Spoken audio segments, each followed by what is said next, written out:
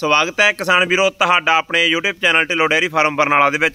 ਸੋ ਜਿਹੜੇ ਕਿਸਾਨ ਵੀਰ ਆਪਣੇ ਇਸ YouTube ਚੈਨਲ ਤੇ ਵੀਡੀਓ ਪਹਿਲੀ ਵਾਰ ਦੇਖ ਰਹੇ ਆ, ਉਹਨਾਂ ਨੂੰ ਰਿਕਵੈਸਟ ਆ ਕਿ ਆਪਣੇ YouTube ਚੈਨਲ ਜੋ ਸਬਸਕ੍ਰਾਈਬ ਕਰ ਲਿਓ।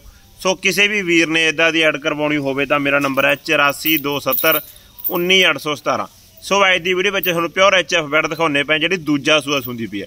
ਘਰੇਲੂ ਬੈੜਾ ਵੀਰ ਦੀ। ਤੇ ਕੋਈ ਵਪਾਰ ਵਗੈਰਾ ਦਾ ਕੰਮ ਨਹੀਂ, ਪਿੰਡ ਜਗਜੀਤਪੁਰਾ ਜ਼ਿਲ੍ਹਾ ਬਰਨਾਲੇ ਦਾ ਪਿੰਡ ਪੈ ਗਿਆ।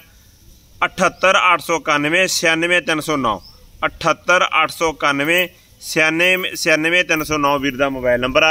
ਸੋ ਜੋ ਸਾਹਮਣੇ ਸਕਰੀਨ ਤੇ ਵਹਿੜ ਦੇਖਦੇ ਪਏ ਆ, ਦੂਜਾ ਸੂਆ ਵਹਿੜ ਸੁੰਦੀ ਪਈ ਆ।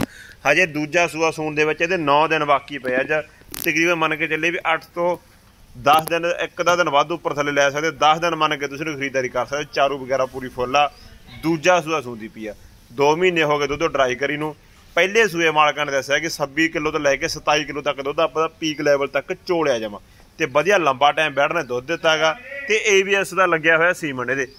ABS ਦਾ ਸੀਮਨ ਲੱਗਿਆ ਹੋਇਆ 8 ਤੋਂ ਲੈ ਕੇ 10 ਦਿਨ। ਅੱਜ ਇਹਦੇ ਸੂਨ ਦੇ ਵਿੱਚ ਬਾਕੀ ਪਿਆ ਤੇ ਫੇਸ ਕੁਆਲਿਟੀ ਵਗੈਰਾ ਮੂੰਹ ਮੱਥਾ ਦੇਖੋ। ਤੇ ਬਾਕੀ ਥੱਲੇ ਮਿਲ ਕੇ ਵੇ ਨਾੜਾ ਵਗੈਰਾ ਦੇ ਸਕਦੇ ਹੋ। ਫਾੜੀ ਵਾਲਾ ਹਵਾਨਾ ਬਿਲਕੁਲ ਫਿੱਟ ਫਾੜ ਕੰਪੈਕਟ ਹਵਾਨਾ।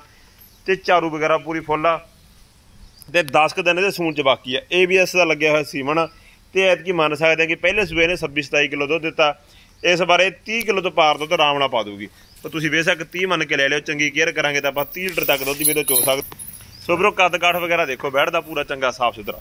ਤੇ ਪਲੀ ਪੁਲੀ ਬਹੁਤ ਜ਼ਿਆਦਾ ਇਸ ਵਾਰ 30 ਲੀਟਰ ਦੁੱਧ ਆਪਾਂ ਇਹ ਤੋਂ ਲੈ ਸਕਦੇ ਆ ਸੋ ਲੇਵਾ ਦੇਖੋ, ਲੇਵੇ ਦੀ ਪੂਰੀ ਸਾਫ਼ ਸੁਥਰੀ, ਫਾੜੀ ਵਾਲਾ ਹਵਾਨਾ ਬਾਲਟੇਲਾ ਕਾਫੀ ਪਈਆਂ ਹਵਾਨੇ ਦੇ ਵਿੱਚ ਅਜੇ। ਤੇ 1 ਲੱਖ 10000 ਰੁਪਏ ਦੀ ਬੈਠ ਦੀ ਹੈਗੀ ਕੀਮਤ।